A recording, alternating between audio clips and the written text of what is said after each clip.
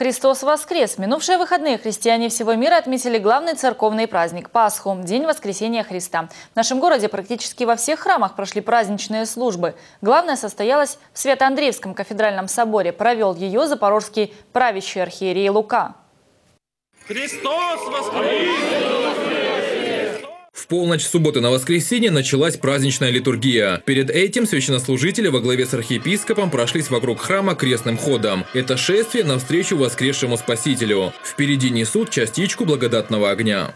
Каждый год э, коллектив предприятия «Мотор Сечь» участвует в мероприятиях по доставке огня, святого огня и сегодня, когда он сошел, огонь, мне позвонили из Иерусалима, поздравили всех нас. Самолетом достали в Москву, затем привезли сюда.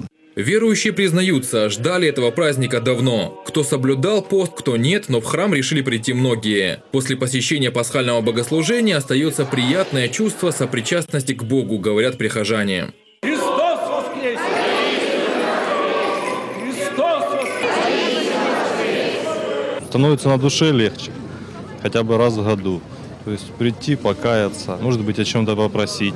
Я верю в это все, и я верю в наилучшее и в этот праздник святой. Я пришел на службу помянуть военных своих друзей, которые погибли в Аване. Моральное спокойствие, душевное спокойствие.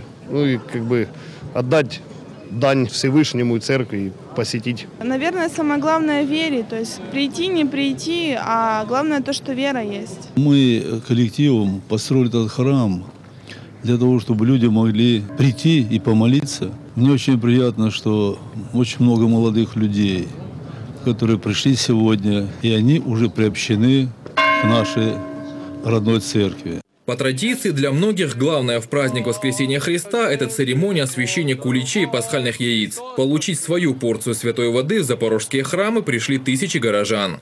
Христос воскрес! Христос воскрес! Вся неделя после Пасхи считается светлой. 40 дней до Вознесения православные должны приветствовать друг друга «Христос воскрес! Воистину воскрес!».